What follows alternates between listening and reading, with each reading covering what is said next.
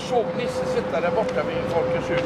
Om vi- Jag kan gå bort och säga till honom om detta här med, med, med, med studiecirklar och, och det här. Sitter han ute? Ja, ja, han har ingen annanstans att vara. Jag ska gå dit och skynda mig lite. Hej då! Nej. Nej men Nisse, här på där sitter du här och jobbar. Jag är ju kassör så det rör Sverige. Jag har inte råd till någon hyra inte. Och du menar att du är utlokaliserad på detta sättet? Ut Det kostar. Det, värmen? kost, det kostar. Men så, lite, men så lite i kassan så har, har det inte det är svårt att köpa några, några lokaler.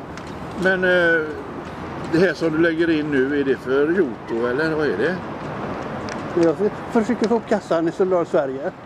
Jaha, vi behöver pengar. Vi behöver alltid pengar. Tänk på det där hemma, ni som sitter och tittar på detta. Vi fryser så vi håller på att skaka ihjäl. Vi behöver pengar. Kan ni skänka någonting så gör det till Solidar Sverige och Sosse-TV. Så vi kan bevaka fram till valet vad som händer och sker. För de där jävla moderaterna att de får ta makten.